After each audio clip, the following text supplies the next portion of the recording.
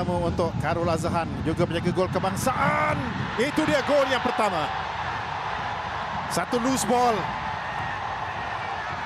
Amir Bek Joraboyev. Pada minit yang ke-6 perlawanan.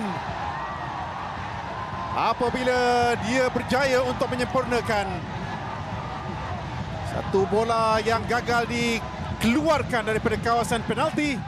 Mencuba. Oh, cantik. Terlepas dari tangkapan penalti. Orozco dikasari oleh Kalamullah. Kad kuning juga akan dilayangkan kepada penjaga gol ini. Kalamullah. Untuk dia merembat tepat dan tindakan susulan dia lakukan. Gol yang ke-10-nya musim ini. Gol penyamaan di Petaling Jaya. Minit ke-23 permainan.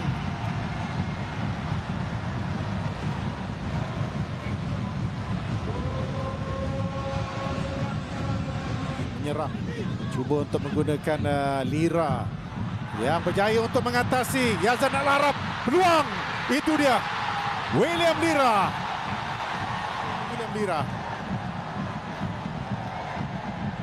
Lira juga menggunakan kekuatan badannya untuk mengatasi Yazan Al-Arab.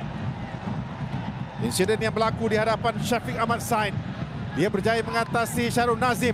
Mengatasi juga Karul Azam. Tengah Selangor, Alif Haikal dan juga Rozko masing-masing tidak duduk di setempat saja. Cross yang melihatkan bagaimana peluang di sini dapat diselamatkan. Faisal Halim menyamakan kedudukan. Keadaan yang kelang kabut sekali lagi di hadapan pintu gol sama seperti apa yang berlaku dalam gol pertama Kedah tadi. Kalamullah selamatkan keadaan tetapi loose ball disempurnakan oleh Faisal Halim untuk kedudukan dua sama. Rembatan yang dilakukan oleh Ali Faikal tandukkan daripada Iron dan bola itu memang mencari kaki dan juga Fazal Halim. Orozco terkena palang dan tindakan susulan. Gol. Rawat deh. Melakukan tindakan susulan. Sekejap, sekejap. Apakah ada keputusan tetapi keraian daripada pemain-pemain Selangor kita lihat pada situasi ini. Okey betul kena pandang dan lihat kepada kedudukan Rodeh di Fabos. Kita nampak juga kedudukan Fayad Zulkifli pemain yang terakhir di barisan pertahanan